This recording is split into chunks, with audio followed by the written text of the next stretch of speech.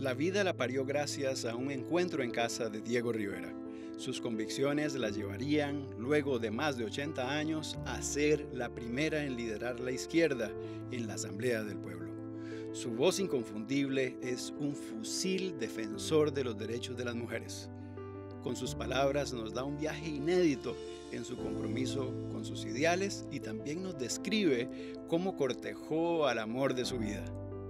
Les presento a la niña que dialogaba con el neoliberalismo en la acera frente a su hogar y que se convertiría en una señora de la política, doña Patricia Mora Castellanos.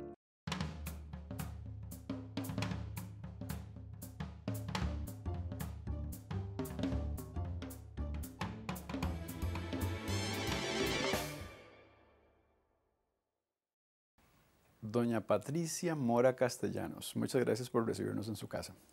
No, esta es la casa de ustedes también.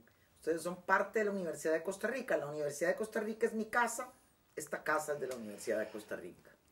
Pues vamos a iniciar esta conversación pensando en Diego Rivera. Marcó su, su destino, don Diego. Sí. Una célula comunista se reúne.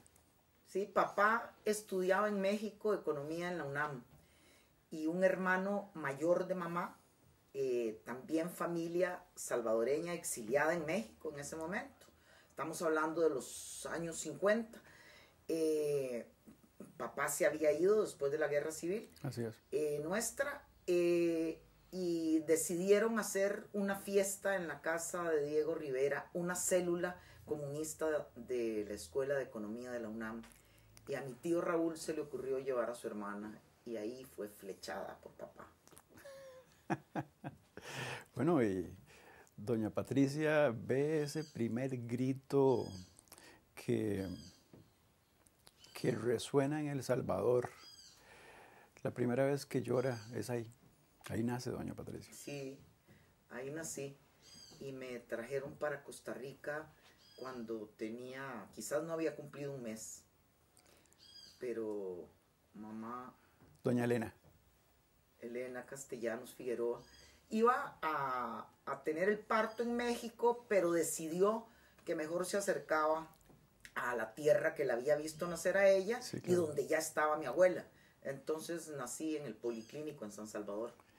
Y bueno, eh, muy poquito tiempo viene el país y empieza la temporada de las vivencias de la infancia. Y hay un kinder que la recibe muy cerquita de la clínica bíblica, me parece. Sí. nosotros vivíamos, eh, había una casa en la calle Tercera, 100 metros al este y 50 al norte de la clínica bíblica, en un segundo piso.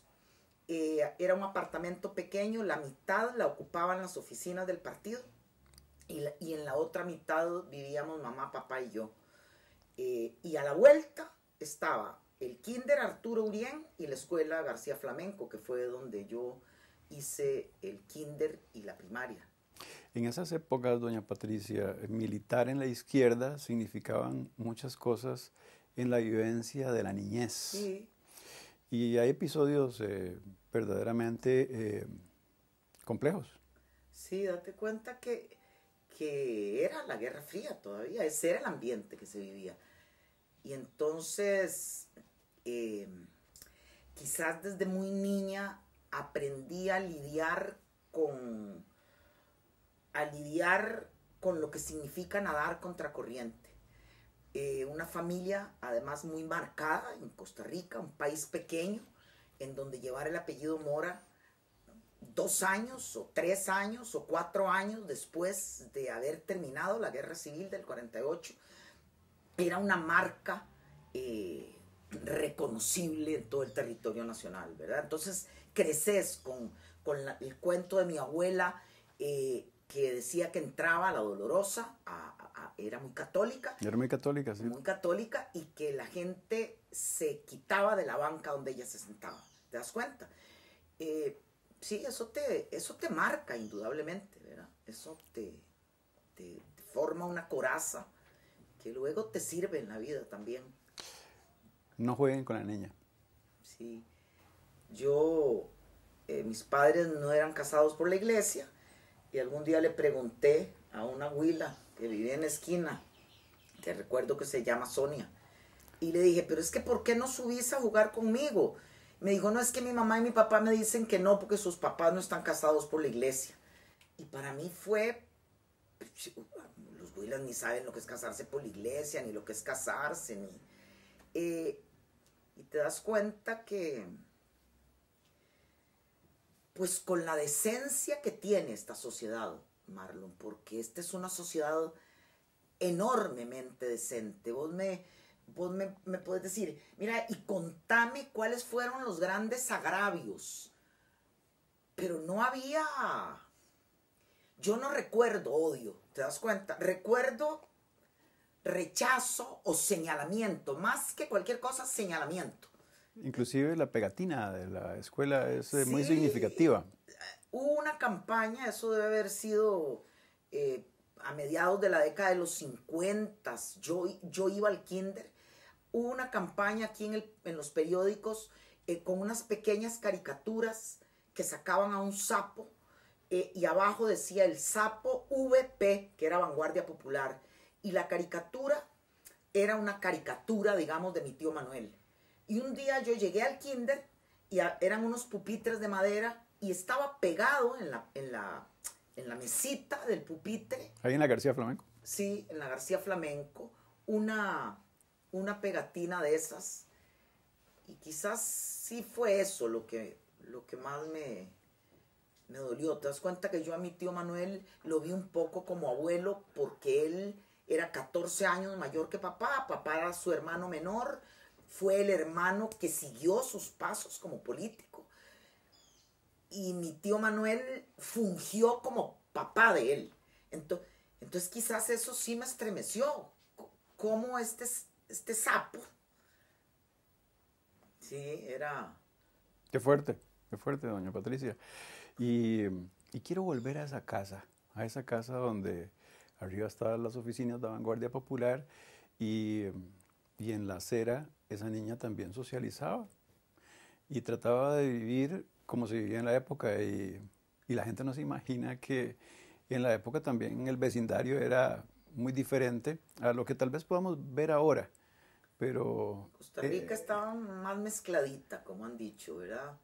No es que fuéramos todos iguales, pero éramos menos, no existían esas brechas enormes, ¿sabes? Recuerdo que a la vueltita de mi casa, en una super casa, no como la mía, en una super casa, vivía don Emilio Jiménez. Don Emilio Jiménez era el dueño de las farmacias de Mariano Jiménez. Eh, un hombre que creo recordar que en aquel momento podría ser como director de la Cámara de Comercio, cosas así, era un señor influyente.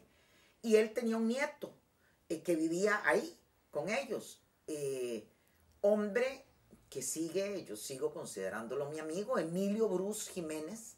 Y Emilio Bruce Jiménez y yo patinábamos juntos, eh, comíamos los mamones que comprábamos en la pulpería de la esquina, juntos. Patinaban juntos. Ah, sí. Y luego crecimos y Emilio tenía carro desde que tenía 18 años. Entonces, como seguíamos viviendo a los 50 metros, yo me iba para la Universidad de Costa Rica a las 7 de la mañana eh, con Emilio, que sí terminó la carrera de abogado. Emilio es abogado. Eh, eh, yo, ¿Quién se lo imaginaría, verdad, doña Patricia? ¿Verdad? Y a veces pienso, y pues esto hace esta, esta mezcla, esta, esta sabia manera de, de, convivir es lo que hizo posible que Emilio y yo llegáramos a grandes, no hay odio de por medio. ¿Cómo va a haber odio si seguramente aprendimos a patinar juntos? Te das cuenta que eso es lo que te aterra. Hoy una Costa Rica partida en dos, en donde ya no todos se encuentran en Ojo de Agua, ya no todos se encuentran en el Paseo de los Turistas de Punta Arenas, ya no todos juegan juntos en la acera. La hemos partido en dos. Eh, quizás la U es como de los pocos espacios donde siendo profesora te das, tenés el primer día de clases decir, por favor, presentémonos. y hay una huila que viene de un super colegio privado y otra que viene de un colegio más adentro de la Tigra de San Carlos y están, y están juntas en la misma aula. Ese es el milagro de nuestra educación pública. Educación pública. Ese es el milagro de la educación pública. Y esa es la universidad que amamos y esa es la universidad que... Y me contaban, doña Patricia, que esa casa en su vecindario tenía piscina inclusive. ¿Verdad? Y esas son... Para la época eso significa mucho. Significa mucho. En esa misma temporada hay una coincidencia. Llega todo un personaje a las oficinas de Vanguardia Popular. Carlos Fonseca Amador. Y llega enyesado. Quizás a una huila lo que más, por eso lo, es una anécdota que recuerdo, ver subir, porque la casa no tenía parte de abajo, sino que era una puertecita que daba a la calle tercera e inmediatamente después de la puertecita empezabas a subir las escaleras. Ver subir a un hombre con un brazo enyesado. Y ya el asombro fue total cuando ese hombre, que debe haber sido muy joven, Fonseca Amador, debemos, te debo de estar hablando de 1960, se sienta, mamá trae unas tijeras y, y corta el yeso que él tenía en el brazo. Y él traía unos documentos. Papá eh, trabajó muy de cerca con, con lo que fueron los primeros movimientos guerrilleros contra Somoza recuerdo a Garcillón, era un, un, militante de, nuestro partido Vanguardia Popular eh, nicaragüense que, dirigió también un, grupo guerrillero allá. Eh, esa es una anécdota que quizás que marcó mi infancia, porque además mamá y papá nos deben haber dicho a mi hermano y a mí que no había que contarlo pero la casa no daba como para que te llevaran a otro sitio. Y era una noche, eso sí lo recuerdo. Eh, pero quizás tuvo que pasar mucho tiempo para que yo me sintiera como con, con la libertad de contar cómo había Fonseca Amador traído documentos subversivos a este país. tampoco era perseguido de repente en ese momento, porque yo le contaba que José Francisco Aguilar Bulgarelli también lo tuvo guardado en su casa un tiempo. Sí, me contaste, José Francisco. Llega a su adolescencia y tal vez eh, hay que hacer hincapié en Conservatorio Castella. Sí, yo entré al Castella en plena adolescencia, a empezar el colegio. Eh, recuerdo que era mi aspiración y, en esa Navidad anterior eh, mamá y papá me dijeron, el regalo de Navidad, ¿sabes cuál va a ser? Y digo, no, el que vas a entrar al Castella. Eh, quizás intuía que ahí iba yo a, terminar de ser dichosa. Era un, colegio y debe de seguirlo siendo, en donde era, aprendíamos poco, pero éramos absolutamente libres y dichosos. Pues en este espacio hay una guitarra y doña Patricia hizo de las suyas con la guitarra. Teníamos que aprender un instrumento. Eh, era obligación en el Castella. Eh, entonces yo recibía clases de guitarra. Eh, no puedo decir que nunca he sido guitarrista. No, yo recibía mi instrumento, era la guitarra. Y lo que sí hice fue, el énfasis mío estuvo en, el teatro, y luego en, un, en la participación en, un grupo de poesía coral que dirigía Arabella Salaberry, que es mi amiga del alma, y que fundamentalmente eh, recitábamos a Lorca. Es quizás uno de los pocos autores eh, de los que yo podría decir que he leído prácticamente todo lo que escribió. Eh, el Castella nos enseñó a amarlo a ese tipo que acaba de pasar un aniversario de su asesinato por Franco. Eh, y, también formaba parte del coro del Castella que dirigía don Nelson Brenes. Dicen que a don Nelson Brenes se le ocurrió llevar ese coro a una misa de las primeras en español.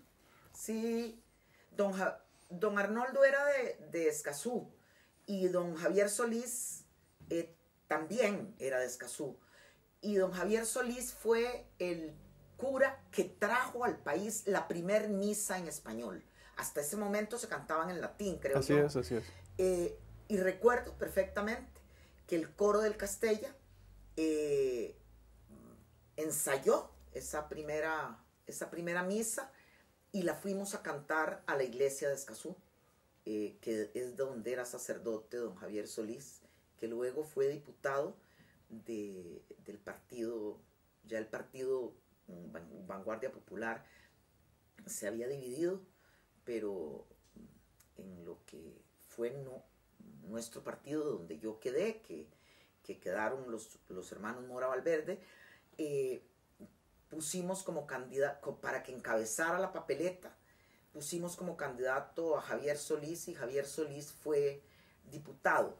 Y quiero decir, porque eso no lo había contado, eh, yo he repetido que me siento heredera de una tradición política que no conoce, que no conoce de sectarismos, no conoce de sectarismos. La certeza que se tenía por parte de esa sensibilidad de izquierda de que solos y solas no podemos hacer nada, de que hay que barrer hacia adentro.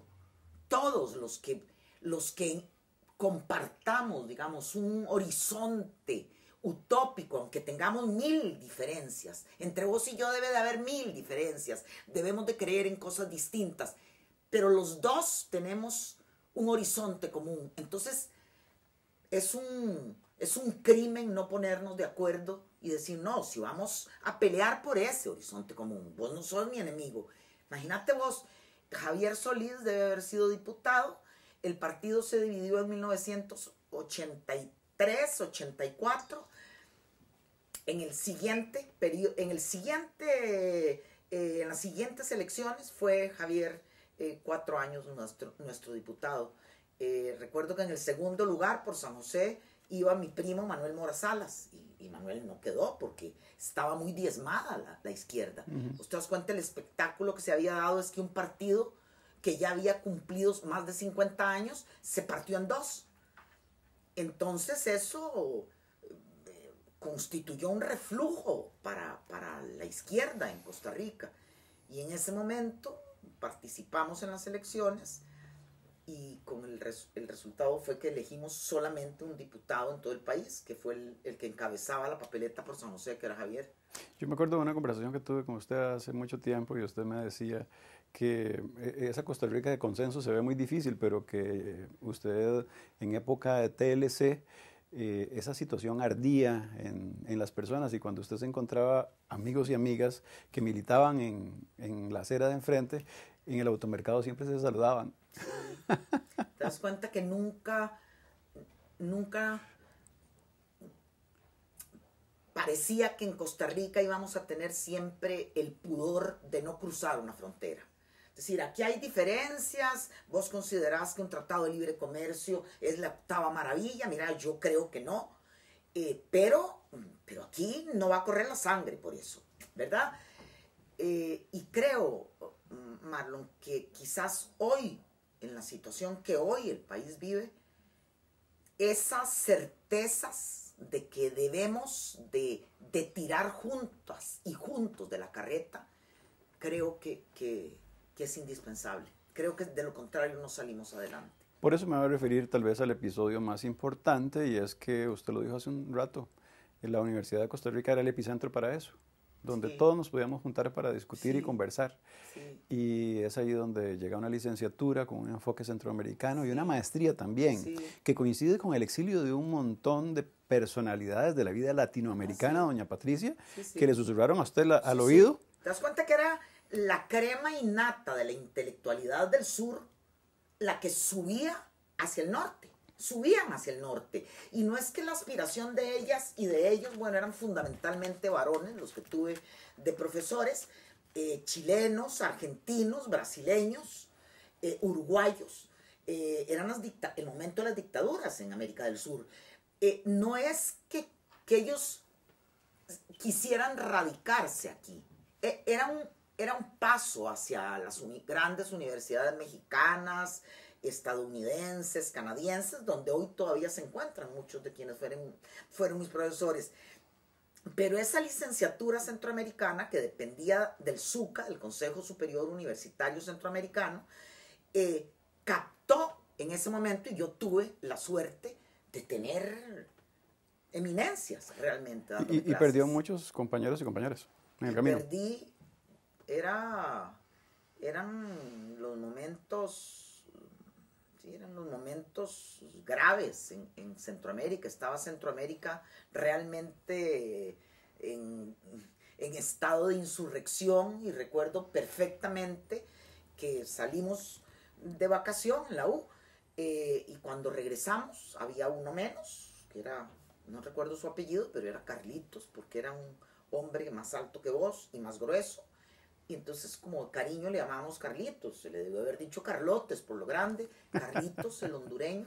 Y luego en otra vacación, un compañero guatemalteco que no regresó, se iban a vacación, se iban de vacación a su país y ya no regresaban porque los mataban. Y luego un profesor eh, que perdimos, profesor de estadística para sociólogos, y, cuyo nombre llevó a nuestra generación. Sigue siendo tremendamente violenta Centroamérica y Costa Rica no se queda atrás. Doña Patricia, hay momentos donde esa lucha social en la que usted ha tenido una trascendencia también se palpa en imágenes. Y hay un fotógrafo eh, costarricense, don Álvaro, don Álvaro Rojas. Álvaro Rojas. Hace un recorrido de más o menos 300 fotografías y por ahí me la encuentro usted ajustando unas perillas mientras su papá da una conferencia. El anonimato de doña Patricia en ese momento. Sí. Álvaro Rojas Valverde es un, querido compañero mío de, de militancia eh, de toda la vida. Eh, y era un aficionado. Alvarito era, porque murió el año pasado, Alvarito era obrero gananero y se afilió al partido allá en el sur. Eh, era, él fue de los barrios del sur, allá en el sur del país. Eh, trabajaba en, una, en una remendona de zapatería y se incorporó al partido y era un intelectual que nunca seguramente estuvo en la secundaria. El partido educó a Álvaro. Y como te digo, era un aficionado de la foto y, tomó fotos, fotos de la historia del movimiento revolucionario en nuestro país. Se hizo un libro y ese libro eh, se presentó en la Asamblea Legislativa, en el Salón de Expresidentes y Expresidenta, en la Asamblea Legislativa. Y ya lo tuve en las manos. yo yo nací en ese local de ese partido. en, ese local tenía yo un mes, 30 días de vida y ya, yo digo, yo voy a buscarme las fotos. Imposible. 390 fotos. Yo pensé que raro. Vuelvo y veo, recuerdo una, veo a papá en la tarima del acto de cierre de la campaña política en febrero de 1970 y estábamos por lo que hoy es cerca de donde hoy es el Banco Central, que estaba Radio, Radio Monumental. Así es. Todavía el tiempo en que no había WhatsApp ni nada, uno iba a ver las noticias en la pizarra de Radio Monumental. En esa esquina se pidió el permiso y se hizo un acto público. Y yo no es que fuera encargada de sonido, sino que posiblemente me dijeron que lo que tenía que hacer era, en la cajita de sonido estaba en una esquina de la tarima, y que tenía que modular el volumen. Y veo la foto y me recuerdo de un chaleco que yo tenía. Y veo a una chavala agachada y digo, y ahí Alvarito, pero esta soy yo, mira, es la única foto en la que, en la que salgo. Esa es la historia de las mujeres en la política. ¿Ah? Qué duro, qué duro, porque inclusive hay, hay anécdotas en las que usted decía que le decían firme aquí nada más, ¿verdad? Que tenía que ver con, con los procesos electorales. vas de número 20 en la lista de San José, firmate aquí. Y yo, ok.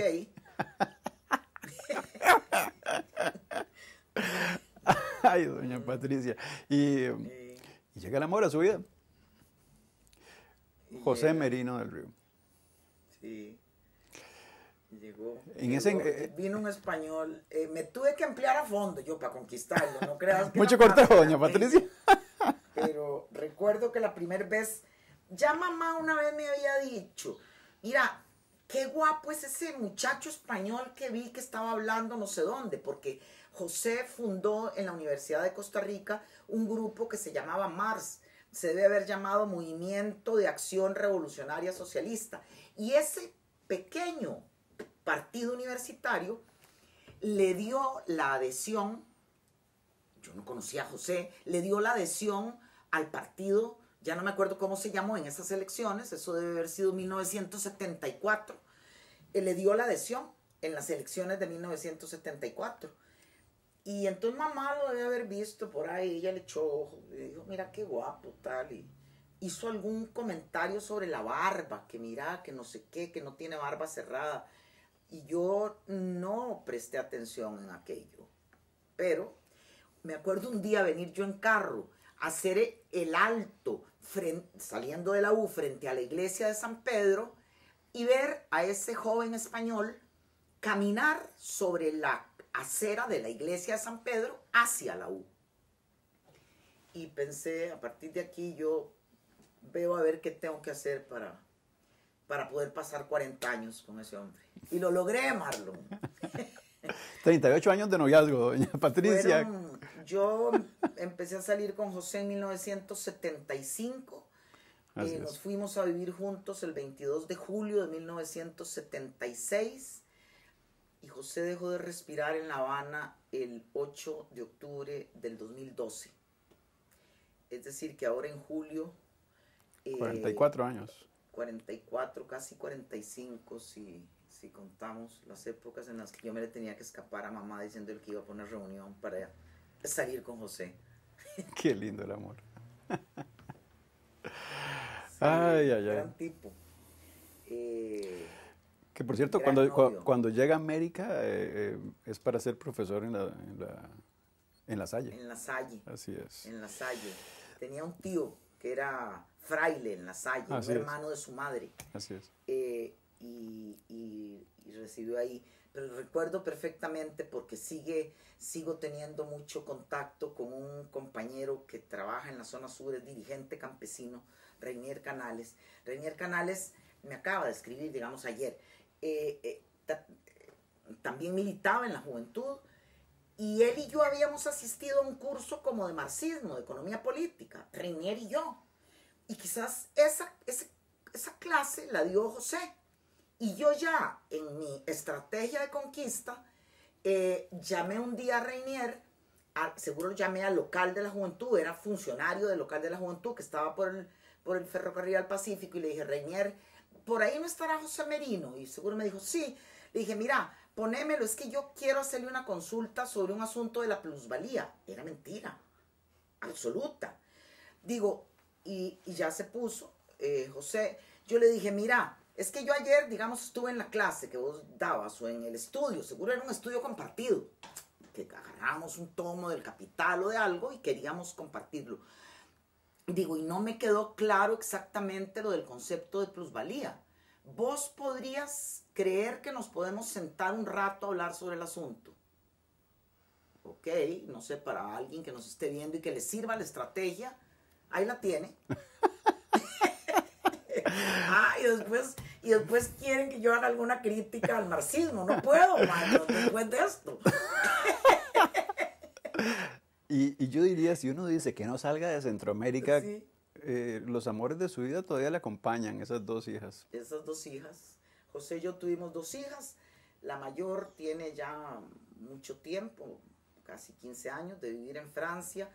Eh, se hizo abogada aquí y luego eh, ha se ha hecho filósofa y tiene un compañero mm, francés, filósofo y antropólogo.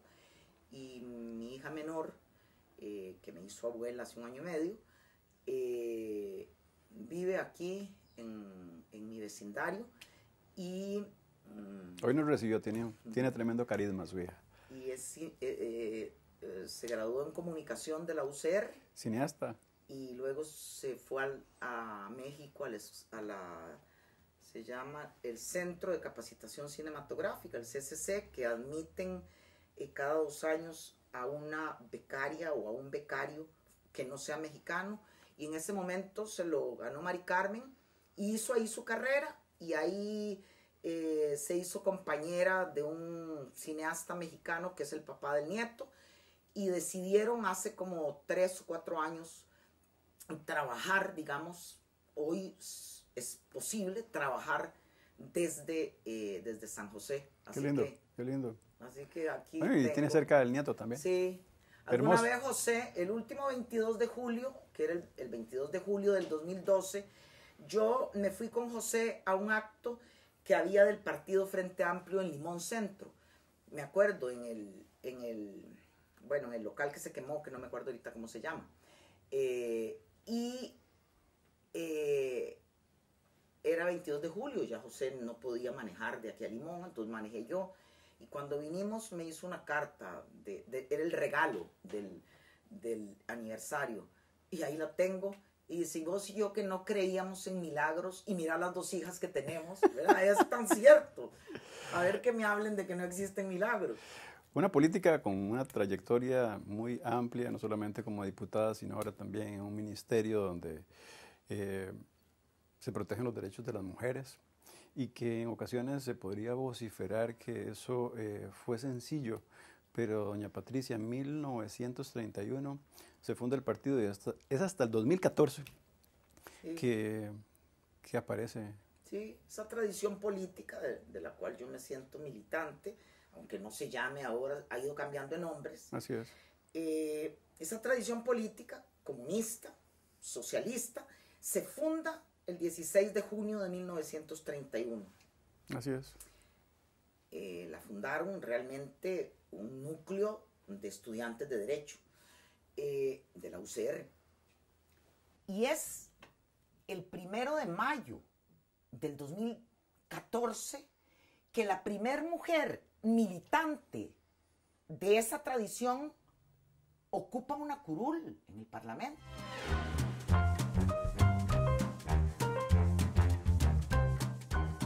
Dice, pero ¿cuántos años pasaron? Nos da una fotografía, nos da una fotografía del país, doña Patricia. Eso es, eso es. Y esas enormes mujeres, obviamente entre las que no me cuento, yo tuve el camino abierto. No, no, esas enormes mujeres que militaron ahí, ¿cómo? Jamás nadie pensó que podían ocupar un cargo. Pero, pero ¿cómo? Hoy te resulta decís, Dios, y esto es, y esto, y esto es la progresía, todo lo que da. Ahora imagínate lo que puede ser la caverna. No, no, no, esta es la progresía, todo lo que da. ¿Ok? Aquí estamos eh, con el aire de los tiempos. Y pasaron esa cantidad de décadas, nueve décadas, y no pasaba nada. Y la izquierda no llevaba mujeres. De mira. Mm. Sí, una caverna que los reflejos aún impactan sistemáticamente en femicidios. Terrible. Hemos estado condenadas al rincón doméstico, ¿verdad?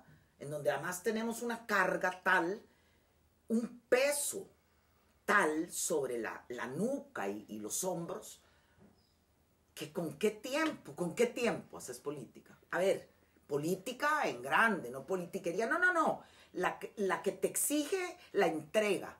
¿Cómo? Y, las hijas, y el papá anciano, eh, y, la casa un poco, cómo funciona. Eh, y esto todas, las mujeres, todas, todas. Ahí sí te puedo decir, las que hemos tenido suerte y hemos sacado profesión, hemos podido trabajar en lo que nos encanta, como a mí, ser profesora y puedo pagarle a otra mujer para que venga a ayudarme. Aún así, la carga de cuidados, de trabajos de cuidados, ha estado siempre sobre mis hombros. Eso, ojalá, ya no sobre los de mis dos hijas, y menos sobre las de las mujeres menores que mis dos hijas. Eso se acabó, ¿te das cuenta? No, no puede ser. Gracias por regalarnos este ratito, doña Patricia. Gracias a ustedes, Marlon, gracias a ustedes.